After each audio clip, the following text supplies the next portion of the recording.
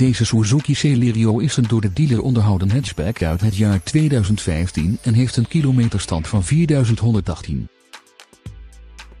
De Suzuki is voorzien van diverse veiligheidssystemen, zoals Hill Hold Control, mistlampen, ABS, ESP en gordijnairbags. De benzinemotor is uitgerust met een handgeschakelde transmissie met 5 versnellingen.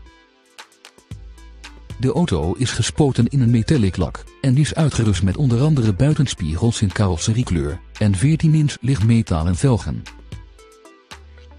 Het optiepakket van de auto is samengesteld uit onder meer een bestuurderstoel met verstelbare zithoogte, een multifunctioneel stuurwiel, een in ongelijke delen neerklapbare achterbank en centrale deurvergrendeling met afstandsbediening.